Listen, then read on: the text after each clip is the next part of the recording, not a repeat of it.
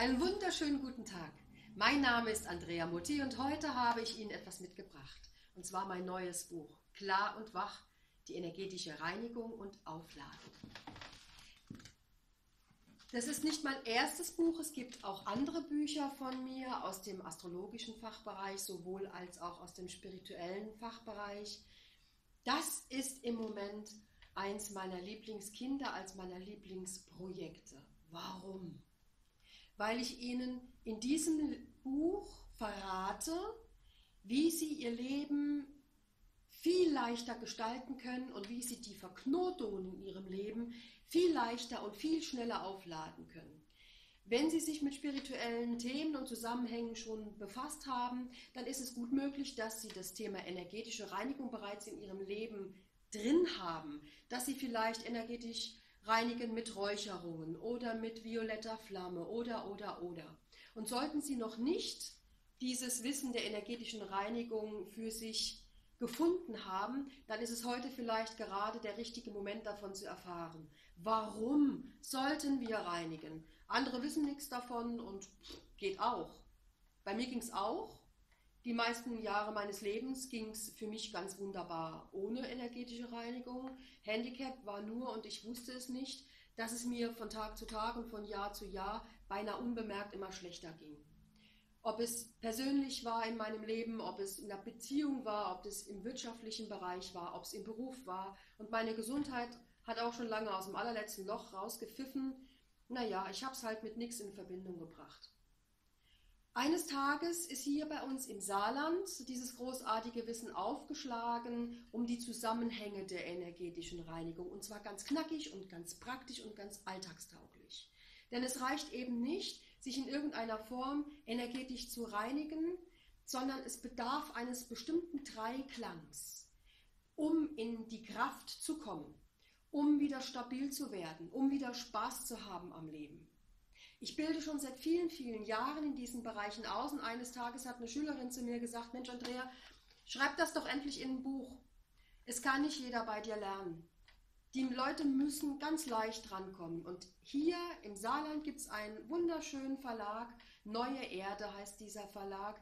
Und der hat mit mir gemeinsam dieses Projekt in Buch gepackt. Extra für Sie. Und Sie sehen, so groß wie meine Hand ist, so groß ist dieses Buch. Es passt also in Ihre Handtasche, es passt in die Schreibtischschublade, es passt unter das Kopfkissen und es passt übrigens auch prima in Geschenkpapier.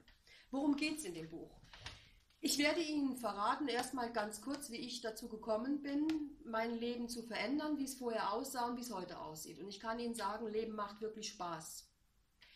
Und ganz wichtig erzähle ich Ihnen von den Zusammenhängen, wie sie sich verknoten, wie sie sich verheddern an all diesen einzelnen Tagen und Lebenssituationen und wie sie wieder rauskommen. Es bedarf nun mal bestimmter kleiner Rituale. Und sie sollten ins Leben passen. Sie sollten nicht so wahnsinnig viel Aufmerksamkeit und Kraft brauchen und doch dürfen wir uns auch darauf konzentrieren. So wie ich jetzt hier sitze und mit Ihnen rede, so ist auch das Buch geschrieben. Erwarten Sie also nicht irgendwelche tieftragenden spirituell-philosophischen Ansätze.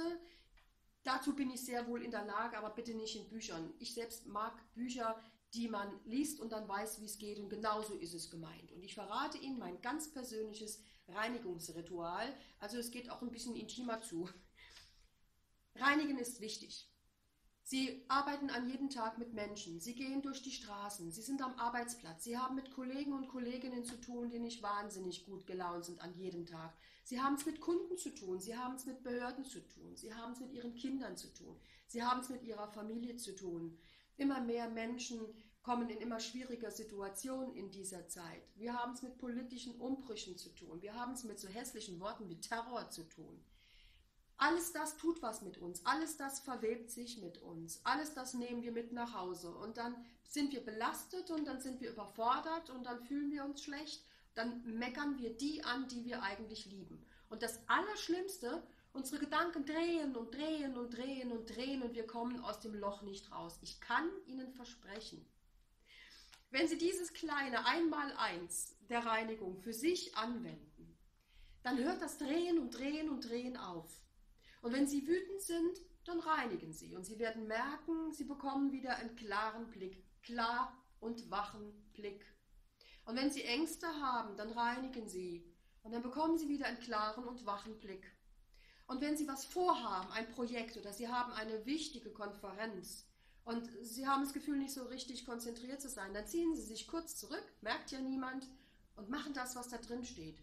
Und Sie werden sehen, Sie sind wieder klar und wach. An ganz vielen Punkten in Ihr Leben gehört dieses Wissen. Und es gehört in das Leben Ihrer Freundin und das Leben Ihrer Familie. Immer nur so weit, wie Ihre Familie damit schon umgehen kann.